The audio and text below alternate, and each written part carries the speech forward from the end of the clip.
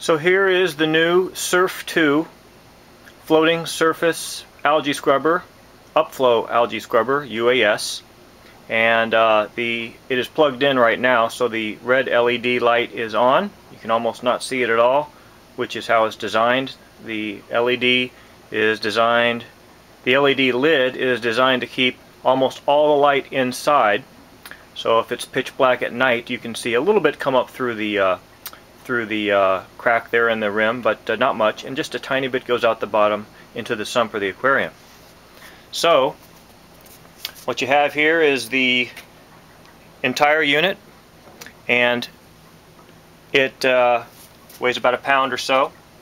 And here's the power cable for the LED light, and then of course then there's the growth container, growth box, and then uh, the air supply. It's a twin air supply to feed air into the two holes in the bottom. They bubble up and then it grows algae and then the water goes down through the two exit holes here and here and uh, the air goes out the top. So the air does not go down into the water. The air goes out the top through the little gap here on the side and then that makes the air rub this foam and the foam absorbs the sound. Okay? So the lid just lifts off like that. And of course I have the light on now just to show you which part lights up and which part does not. And uh, so there's your light with four LEDs on the inside and a aluminum painted black heat sink here. And the entire LED lid is filled with silicon encapsulant.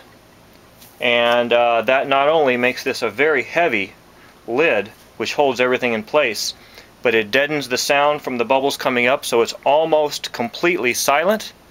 And uh, it also um, keeps things in place in the water from moving around too much as it would move around more if it were lighter. So this is completely solid, one half inch thick. This is your heat sink here, painted black, and black will emit more of the heat and keep this cooler and you can run this for a while and it does not even get warm just like this. But when it's in operation and the bubbles are coming up and they're hitting the bottom it stays basically cold.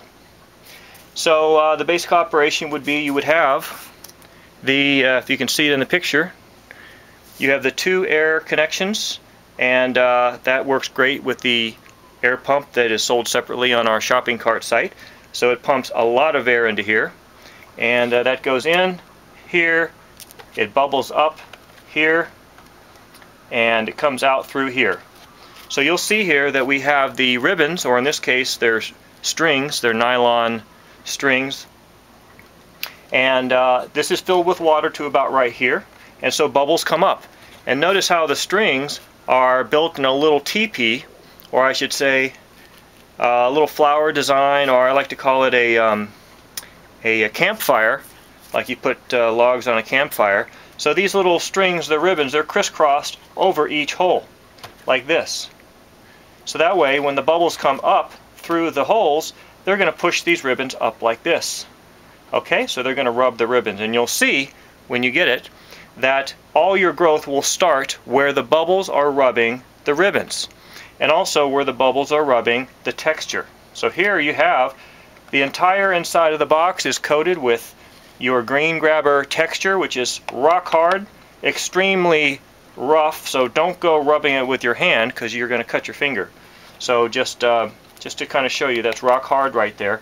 And you'll get a ring right here of growth around the edge, and then you'll get growth right here on the ribbons. And that's where it will start, and then it will fill in from there, and then it will eventually be completely solid packed of green algae, algae all the way from the bottom to the top. So anyway, as the bubbles come up, of course the water level is right about here.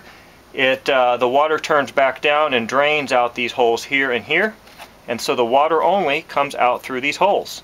And then you have no bubbles going into your aquarium water or your sump water.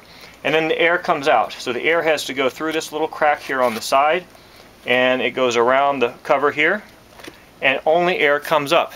It's a very slight amount of air because it's distributed all the way around this edge. So if you put your hand right over it when it's running full power, you can't really feel too much of it, but it is coming up.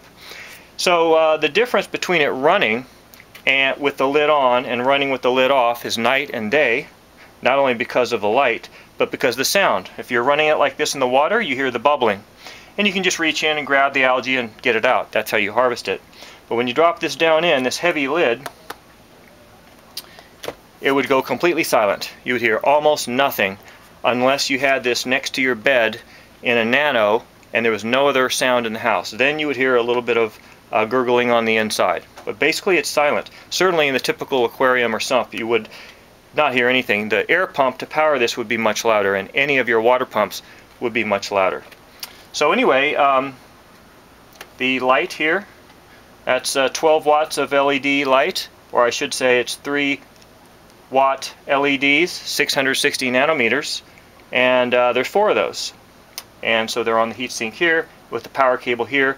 This is triple waterproofed. Actually, without any waterproofing at all, you could drop it in the water and it still